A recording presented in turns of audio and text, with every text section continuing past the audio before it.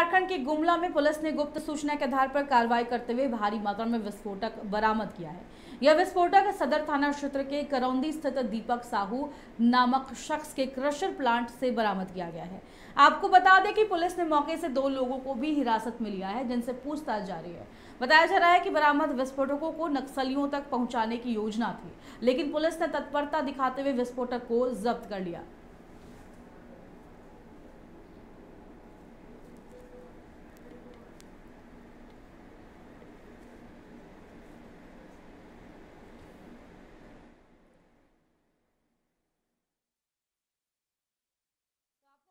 कि विस्फोटक जब्त हुए हैं, भारी मात्रा में गुमला या नक्सली इलाका जहाँ पर विस्फोटक भारी मात्रा में जब्त हुआ है और दो लोगों को हिरासत में लिया गया है, जिनसे पूछताछ चल रही है। आपको बता दें कि यह विस्फोटक जो है, नक्सलियों तक पहुँचाने की योजना चल रही थी। और ज़्यादा जानकारी के लिए संवाददाता अजीत सोनी है फुलाइन पर।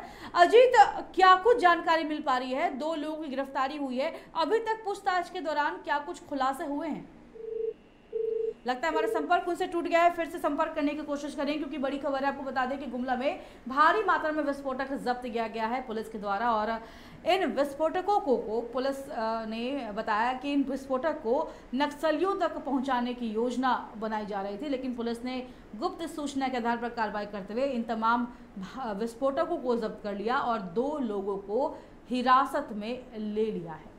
गुमला एक नक्सली इलाका है और यहाँ पर लगातार नक्सली गतिविधियाँ जारी रहती हैं, जिसकी वजह से पुलिस यहाँ पर नक्सलियों पर अंकुश लगाने के लिए लगातार कार्रवाई करती रहती है और इसी के तहत पुलिस ने छापेमारी करते हुए भारी मात्रा में विस्फोटक जब्त किया है। और जुड़ चुके हैं संवाददाता अजीत सोनी फोनलाइन पर। अजीत पूछताछ हो चल रही होगी दो लोगों से जिनकी गिरफ्तारी हुई है। अभी तक क्या कुछ खुलासे हो पाए हैं?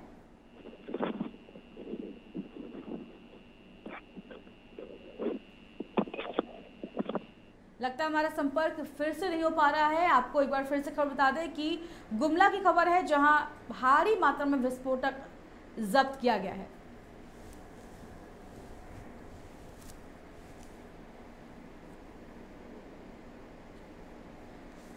अजीत जुड़ चुके हैं एक बार फिर से कोशिश करेंगे उनसे बातचीत करने की। अजीत दो लोगों की गिरफ्तारी हुई है। क्या कुछ खुलासे हुए अभी तक पूछताछ के दौरान? जी बता दो कि यहाँ पे आ, शहर से सटे करौंदी करौंदी में पुलिस ने ट्रैक्टर में लगा अवैध विस्फोट को जब्त किया है। जी। और पुलिस पुलिस गुप्त पुलिस को गुप्त सूचना मिली थी कि गुमला और रायडी पुलिस ये जो विस्फोटक जब्त किए गए हैं, अजीत, लगता है कि किसी बड़ी वारदात को अंजाम देने के फिराक में है थे नक्सली और विस्फोटकों तक तो पहुँचाने की यह योजना की एक कड़ी थी। तो क्या इस पर कुछ खुलासे किए गए हैं पुलिस के द्वारा? जी, बता दें कि विस्फोटक सामान नक्सलियों नक्सलियों को पहुँचाने की मंशा थी और यहाँ पे इस पूरे अभियान में कुछ सफ़ेद पोस्ट भी इसमें शामिल होने की खबर आ रही है।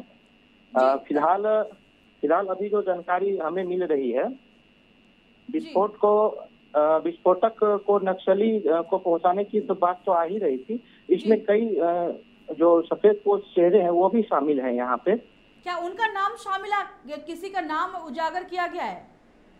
नहीं अभी अभी अभी किसी का नाम उजागर नहीं किया गया है। अभी चूँकि पूरे पूरे मामला पे पुलिस प्रशासन जो है इस पे जाँच कर रही है।